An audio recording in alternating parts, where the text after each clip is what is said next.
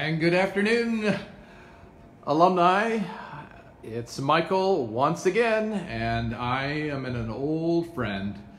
Perhaps you might recognize these doors. They used to go out into a parking lot on the south side of the building, and uh, and yet uh, looks far different.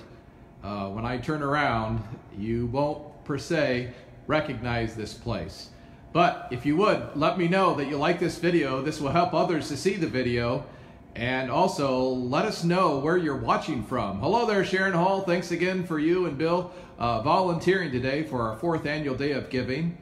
And uh, if uh, the rest of you would just uh, like it uh, or comment on it, just to let me know that you're here, uh, that would certainly make my day. So, obviously, you remember this back entrance to the old Lehman Library, all right?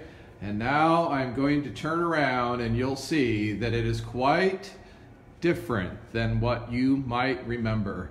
Of course, the, uh, the restroom is on the left-hand side for the men, and then on the left is the ladies' room.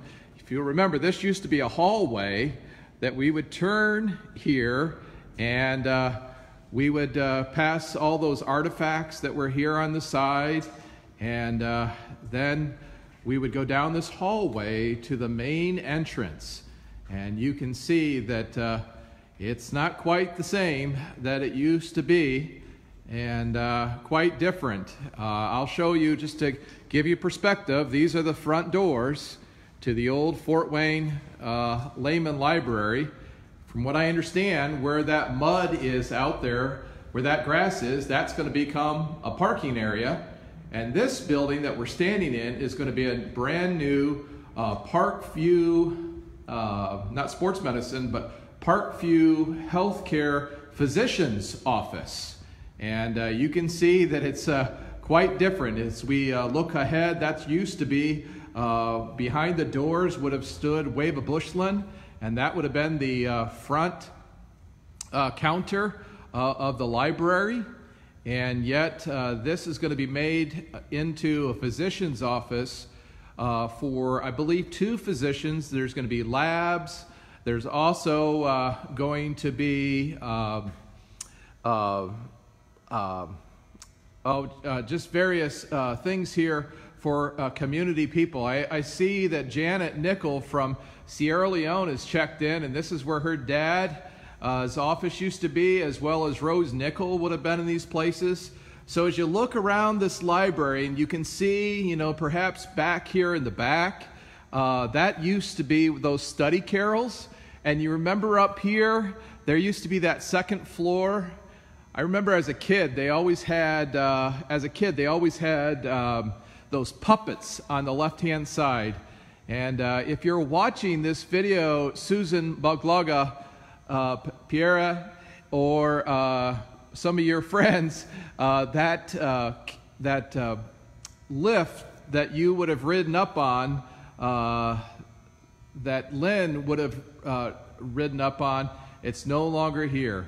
But where was your favorite place in this old library that's being renovated for Parkview uh, doctor's offices? I believe there's going to be nine observation rooms. Uh, and I see that Sharon Hall used to work in correspondence uh, studies back in the day, but you can just see some uh, fragments of uh, what used to be the old library. So, where was your favorite place to study in the library? Just, uh, just curious. Leave me a comment, and uh, you can see again. This is the entrance.